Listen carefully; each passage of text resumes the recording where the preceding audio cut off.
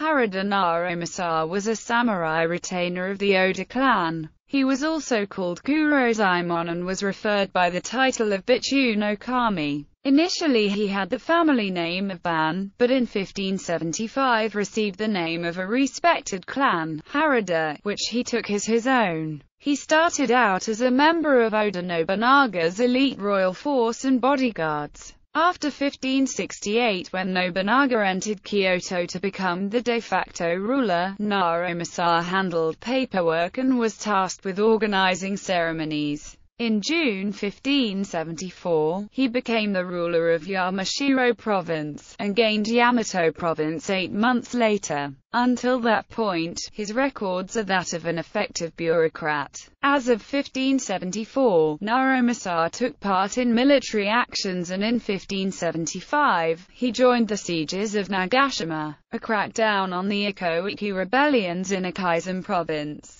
In May 1576, Naomasa took part in the campaign against the Ishiyama Honganji in Osaka, along with Akechi Mitsuhide, Araki Murashige, and Hosokawa Fujitaka. As the main army of this campaign, he took on the siege of Mitsuji but he was surprised by Honganji troops and lost his life in the ensuing chaos.